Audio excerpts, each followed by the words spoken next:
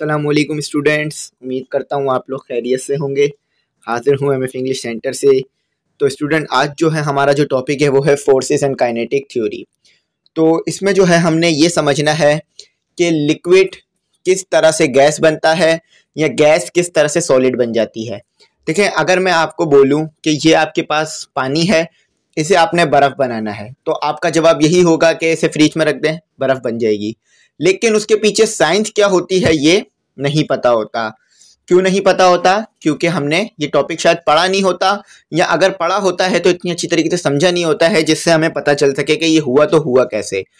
तो इनशाला आज के लेक्चर के बाद आपको ये बात पता चल सकेगी कि सॉलिड किस तरह लिक्विड बनता है लिक्विड किस तरह से गैस बन जाता है, या गैस किस तरह से सॉलिड और सॉलिड किस गैस किस तरह से लिक्विड और लिक्विड किस तरह से सॉलिड बन जाता है।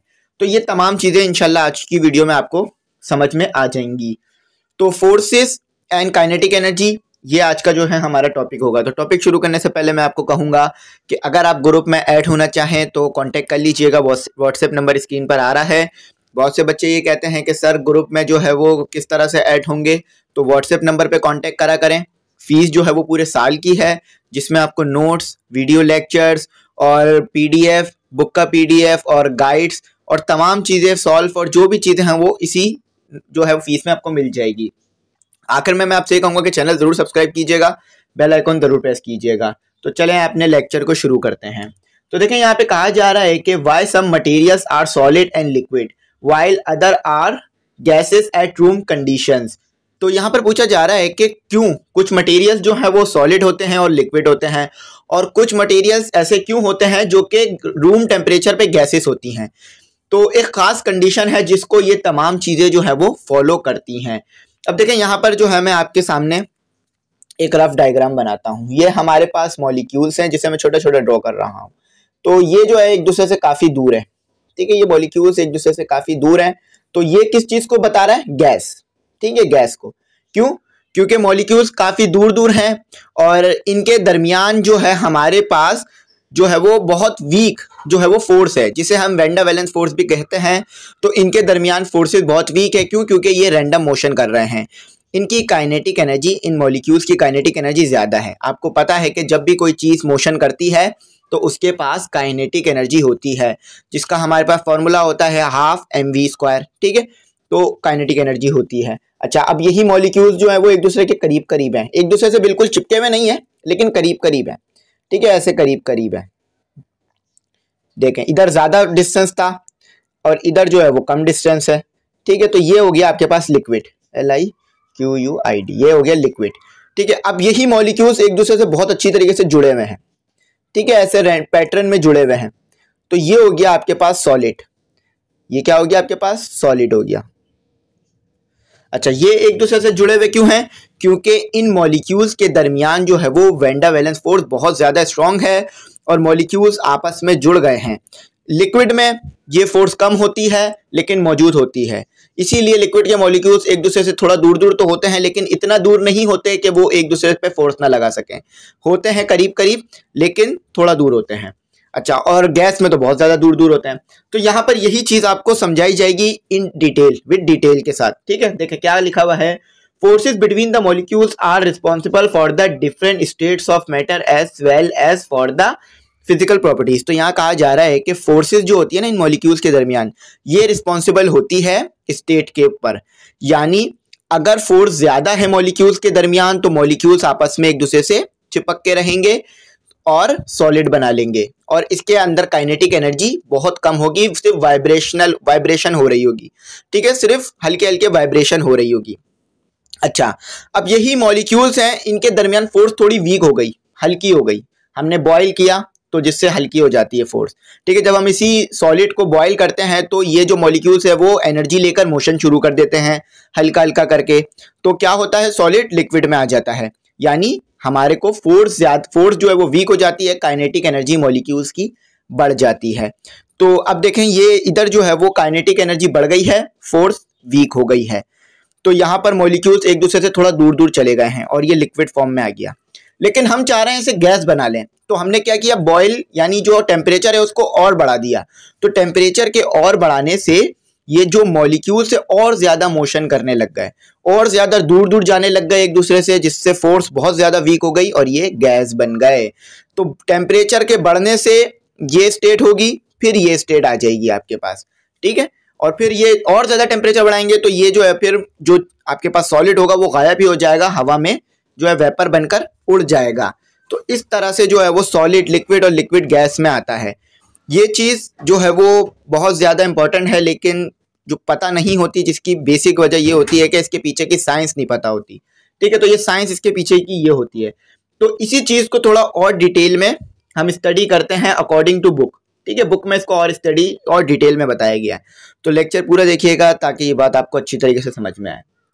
अब कहा जाता है कि according to kinetic molecular models यानी जो पीछे हमने काइनेटिक मोलिकुलर मॉडल्स पढ़ा था, जिसे काइनेटिक मोलिकुलर थ्योरी भी कहते हैं, या पर्टिकुलर मोलिकुलर मॉडल्स भी कहा जाता है तो उसमें हमें बताया गया था molecules of gases have large kinetic energies as a result there are no force of attraction between them as a result molecules of gas can move freely and go further apart तो देखें यहाँ पर कहा जा रहा है कि ये जो मॉलिक्यूल्स होते हैं गैस के इनके दरमियान जो हमारे पास फोर्स होती है अट्रैक्टिव अट्रैक्टिव फोर्स या अट्रैक्ट फोर्स ऑफ़ अट्रैक्शन जो जिसे वेंडावेलेंस फोर्स भी कहा जाता है तो ये बहुत ही कम होती है या नेग्लिजिबल ना होती है, ना के बराबर ले लीजिए।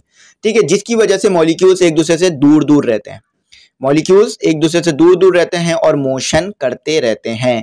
और ये जो है वो इनकी काइनेटिक एनर्जी ज़्यादा होती है। गैस के मॉलिक्यूल्स की काइनेटिक एनर्जी क्या होती है आपके पास? ज़्यादा होती है। तो अगर आपको कोई बोले कि गैस जो है वो सॉलिड क्यों नहीं होती या लिक्विड क्यों नहीं होती तो उसकी आप वजह बताएँगे कि इसके पास काइनेटिक एनर्जी ज़्यादा होती है और मॉलिक्यूल्स के दरमियान जो फोर्स ऑफ़ अट्रैक्शन यानी मॉलिक्यूल्स एक दूसरे को अपने साथ मिलाकर नहीं रख पाते हैं अलग अलग हो जाते हैं दूर दूर हो जाते हैं। ठीक है, जिसकी वजह से सॉलिड या लिक्विड ये नहीं बन पाती। अब देखें, फर्दर आगे जो है आपको बताया जा रहा है कि this is why gas can occupy any available space and can be compress easily तो मॉलिक्यूल्स के दरमियान आपको पता है डिस्टेंस बहुत ज़्यादा है। तो आप इसे कंप्रेस भी कर सकते हैं। यानी देखें, जो जगह है, खाली जगह है, जब आप इसे दबाएँगे तो ये खाली जगह कम हो जाएगी। अब आपके पास एक स्पेस है। अगर आप जैसे कि मैं ये कैप बंद कर रहा हूँ अभी ये जो है, मैं इसे कंप्रेस करूँगा तो ये बंद हो जाएगा। तो स्पेस है तो बंद हो रहा है ना? अगर स्पेस नहीं, अभी देखें, यहाँ स्पेस ही नहीं, अब कैसे बंद करूँगा मैं? ये नहीं हो सकता बंद और। यहाँ स्पेस है तो बंद हो जाएगा। तो इसी तरह से गैस के मोलिक्यूल्स के दरमियान आप देख रहे हैं कितना ज़्यादा जो है वो जगह मौजूद है। तो आप इसे दबाएँगे तो ये मज़ीद दब जाएँगे। तो यही वजह होती है कि कोई इसका कोई फिक्स शेप नहीं होता और इसका कोई फिक्स वॉल्यूम नहीं होता।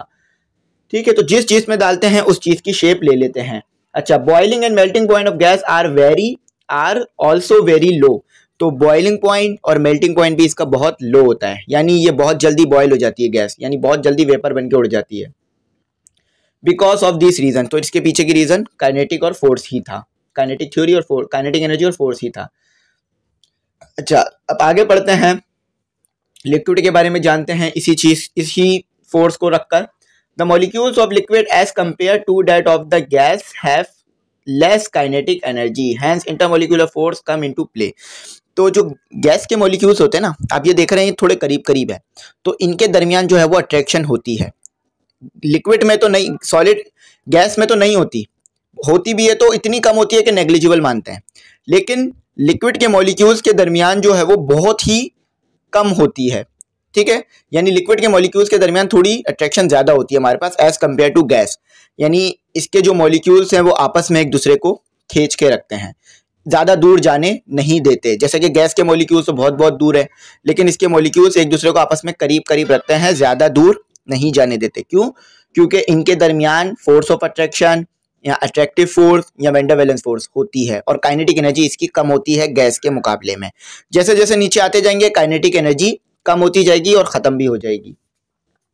अच्छा तो इसीलिए जो है इसका हमारे पास वॉल्यूम फिक्स होता है लिक्विड का वॉल्यूम फिक्स होता है। लेकिन इसकी भी शेप फिक्स नहीं होती क्यों? क्योंकि इसके दरमियान भी मोलिक्यूल्स के दरमियान डिस्टेंस है। अच्छा आप लिक्विड को कंप्रेस नहीं कर सकते। गैस को तो कर सकते हैं, लेकिन लिक्विड को आप इतना ज़्यादा कंप्रेस नहीं कर सकते। इनकम्प्रेसिबल होती है। अच्छा अब आगे जो बताया जा रहा है, उसको स्टडी करते हैं। आगे देखते हैं क्या कहा जा रहा है। Therefore liquid do not have fix shape तो आपको पता है लिक्विड की कोई फिक्स शेप नहीं होती। जिस चीज़ में डालें, उस चीज़ का हो जाएगा।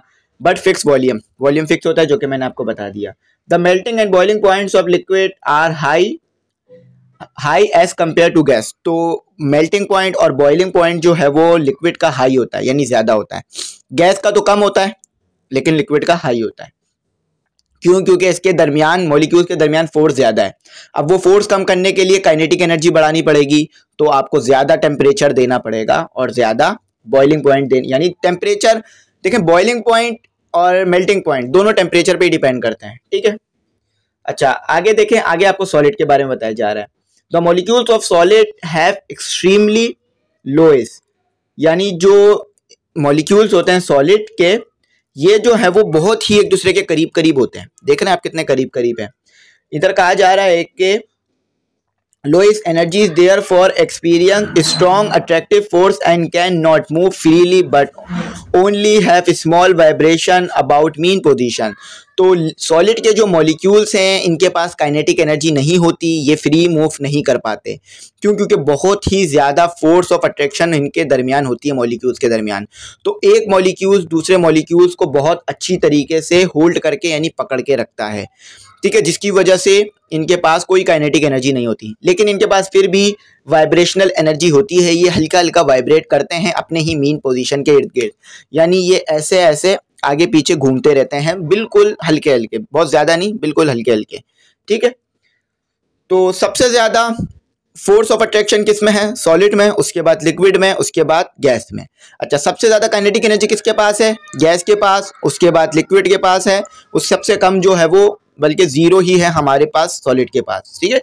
सॉलिड के पास जो काइनेटिक एनर्जी है, वो ज़ीरो मान लीजिए। अच्छा और गैस के पास जो फोर्स ऑफ़ अट्रैक्शन है, वो भी नेग्लिजिबल ज़ीरो है, ठीक है? बहुत कम है तो ज़ीरो मान लेते हैं। ठीक है, अगर किसी के पास जो है वो ज़ीरो पॉइंट ज़ीरो ज़ीरो एक रुपीज़ है तो क्या वो लखपति होगा या करोड़पति? बल्कि वो कंगाल कहलाएगा, उसके पास कुछ भी नहीं है, ठीक है? इतना कम पैसा नहीं माना जाता। हाँ अगर उसके पास एक लाख है तो फिर वो जो है थोड़ा अमीर है, एक लाख या दस हज़ार है तो वो फिर थोड़ा अमीर है आदमी है, ठीक है? तो यहाँ पर यही बात आपको समझानी थी कि गैस के मॉलिक्यूल्स के दरमियान कोई फोर्स नहीं होती है और लिक्विड के मॉलिक्यूल्स के पास कोई काइनेटिक एनर्जी नहीं होती। ले सॉलिड के मॉलिक्यूल्स के पास कोई काइनेटिक एनर्जी नहीं होती, लेकिन लिक्विड के मॉलिक्यूल्स के पास काइनेटिक एनर्जी भी होती है और फोर्स ऑफ़ अट्रैक्शन भी होती है। तो ये बात उम्मीद करता हूँ आप समझ गए होंगे। यही वजह होती है कि इनको आसानी से लिक्विड और गैस में तब्दील करा जाता है। जो है, यही वजह होती है कि सॉलिड को फिर हम लिक्विड में ले जा सकते हैं या गैस में। कि अगर इसका मेल्टिंग पॉइंट ज़्यादा होता है सॉलिड का मेल्टिंग पॉइंट ज़्यादा होता है तो आप इसको जब मेल्ट करेंगे तो ये जो है वो लिक्विड बनेगा और ज़्यादा टेम्परेचर देंगे तो गैस बन जाएगा। अच्छा गैस को जब आप जो है वो कूल करेंगे, यानी इसको जो है वो फ्रीज करेंगे तो ये जो है वो लिक्विड बन जाएगी। और ज़्यादा फ्रीज करेंगे तो सॉलिड भी बन जाएगी, ठीक है? और यहाँ पर एक बात याद रखिएगा कि ये क्यों हो रहा होता है सॉलिड लिक्विड गैस क्यों बन रही होती हैं चीज़ें? क्योंकि इनके दरमियान की फोर्स पे ये चीज़ें डिपेंड करती हैं। यानी आपने जो है वो सॉलिड को टेम्परेचर देना शुरू किया, ये मैंने टेम्परेचर लगा दिया टी ठीक है? तो मॉलिक्यूल्स के दरमियान जो काइनेटिक एनर्जी है वो बढ़ती जाएगी, उनको जो मॉलिक्यूल्स हैं उनको एनर्जी मिलती जाएगी हीट एनर्जी से। तो फिर वो मोशन करने लगेंगे। मोशन करते रहेंगे तो फिर ये लिक्विड बन जाएँगे। और ज़्यादा आपने टेम्परेचर दिया तो ये गैस बन जाएँगे। अच्छा अब आपने इसको कूल करना शुरू किया। ठीक है कूलिंग प्रोसेस शुरू किया आपने यहाँ पर।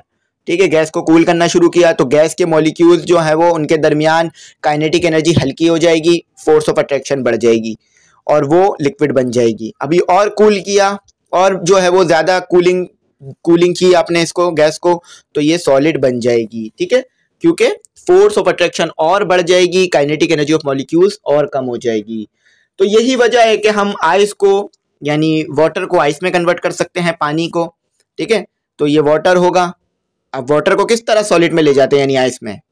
कूल करके ना, यानी उसको जो है आप माइनस में टेम्परेचर देते हैं तो वो कूल हो जाती है, ठीक है? और इसी तरह से आप क्रीम को आइसक्रीम बना सकते हैं। क्रीम होती है आपके पास उसे आइसक्रीम बनाने के लिए टेम्परेचर में रखना पड़ता है। यानी माइनस टेम्परेचर में रखते हैं और इसी तरह से आप गैस को कंप्रेस भी करते हैं। अच्छा आगे जो है वो आपको यही चीज़ बताई गई है। कहा जा रहा है कि the states of a substance can be change either by heating और बाय कूलिंग इट। तो आप स्टेट कैसे चेंज कर सकते हैं सब्सटेंस की? उसको कूल करके या हीट करके? अब मेरा एक सवाल है आपको, आपसे कि मैंने जो है वो कूल किया, मेरे पास जो है वो कूल किया मैंने, जो है वो ऑरेंज जूस को। ठीक है ऑरेंज जूस को जो है मैंने कूल किया।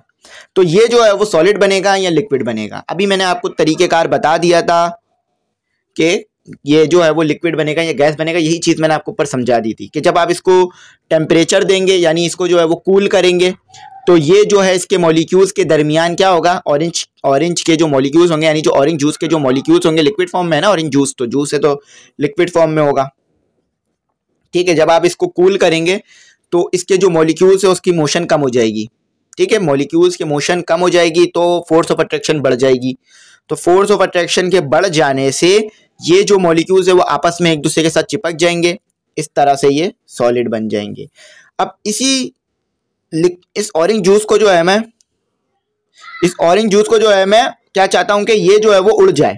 यानी गैस बन जाए, गैस की फॉर्म में चला जाए। तो मैं क्या करूँगा, इसको कूल करूँगा या हीट करूँगा। ठीक है, मैं इसे हीट करूँगा। हीट करूँगा, यानी हीटिंग प्रोसेस करूँगा इसमें। इसको टेम्परेचर देना शुरू करूँगा इसके मॉलिक्यूल्स यानी ये पहले से ही लिक्विड फॉर्म में है। तो इसके मॉलिक्यूल्स के दरमियान मोशन बढ़ जाएगी और, यानी इसके जो मॉलिक्यूल्स हैं, उनकी मोशन बढ़ जाएगी काइनेटिक एनर्जी जो है वो और बढ़ेगी। तो ये जो है वो और मोशन करने लगेंगे तो ईजिली जो गैस बन जाएँगे। ठीक है, यहीं पर यह बात की जा रही है कि on the other hand when a solid substance is heated जब सॉलिड के सब्सटेंस को जब आप हीट करते हैं, यानी कोई भी सब्सटेंस हो the molecules start to vibrate more and more strongly तो मोलिक्यूल्स जो है वो वाइब्रेशन शुरू कर देते हैं, यानी मोशन करना शुरू करते हैं। Eventually the molecules vibrate more violently and their intermolecular force become weak as a result material become a liquid तो वही प्रोसेस है जो मैंने बताया कि आपने हीट करना शुरू किया वाइब्रेशन बढ़ी और वाइब्रेशन इतनी बढ़ी कि मोशन करना शुरू कर दिया मोलिक्यूल्स ने। तो फिर जो है वो ये जब मोशन करना शुरू कर देंगे तो ये लिक्विड फॉर्म में चले जाएँगे। तो ये इसके पीछे की साइंस होती है इनशाला आपको यहाँ पर बात समझ में आ गई होगी और अगर नहीं समझ में आओ तो पूछ लीजिएगा बता दूँगा। अच्छा देखें, कोई भी चीज़ किस तरह से सॉलिड लिक्विड गैस में जाती है, इसको देखें। आपके पास सॉलिड है, उसको आपने हीट किया तो वो मेल्ट हो गया। ठीक है, यानी जब आपने उसमें हीटिंग दी सॉलिड को तो वो मेल्ट हो गया। लेकिन लिक्विड को जो है, आपने और ज़्यादा हीट किया तो वो बॉयल यानी जब आपने लिक्विड को बॉयल किया तो वो गैस बन गया। यानी सॉलिड को जब आपने हीट किया तो वो मेल्ट हो गया और लिक्विड बन गया। लिक्विड को जब आपने बॉयल किया तो वो गैस बन गया। ठीक है, यहाँ पर यही बात आपको लिख के दी गई है नीचे। अच्छा अब इसका उलट प्रोसेस भी होता है। यानी ये जो ऑरेंज वाला ग्राफ आपको नज़र आ रहा है ऑरेंज वाली डायग्राम फिगर 7.3 में तो हमने सॉलिड को गैस किस तरह बनाया या लिक्विड किस तरह बनाया, ये देखा। लेकिन फिगर 7.4 में हम ये देखेंगे कि हम जो है वो गैस को सॉलिड कैसे बनाते हैं? हमने क्या किया? हमने जो है वो कूल कूलिंग प्रोसेस किया, यानी ठंडा किया। गैस को जब हमने ठंडा किया तो वो क्या हो गया? कंडेंसिंग हो गई। ठीक है? हमने पढ़ा था ना कंडेंसिंग ऊपर के गैस को लिक्विड बना लेना। तो लिक्विड बन गई। ठीक है? फिर लिक्विड को क्या किया? हमने और ज़्यादा जो है वो फ्रीज किया। तो फ्रीजिंग से ये सॉलिड बन गई। ठीक है? अच्छा अब तो स्टूडेंट यहाँ पर आपको चार्ट दिया हुआ है। ठीक है? जिसमें आपके पास जो है वो मुख्तलिफ़ सब्सटेंस मौजूद हैं प्योर सब्सटेंस ठीक है?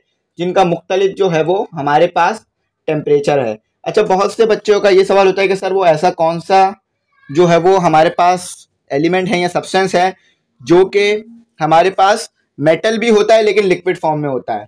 तो वो जो है हमारे पास मरकरी होता है, ठीक है? यहाँ भी आपको ये लिख के दिया गया है। ये सवाल अक्सर पूछ लिया जाता है बच्चों से, लेकिन बच्चे जो है इसका जवाब नहीं दे पाते। तो ये आप चीज़ आपको लिख के भी दी हुई है सेम आप यहाँ से भी इसे देख सकते हैं, ठीक है?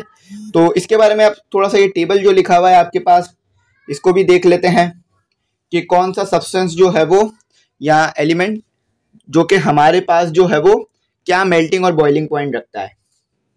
देखें हीलियम जो है, इसका मेल्टिंग पॉइंट है minus two seven minus two seven two ठीक है?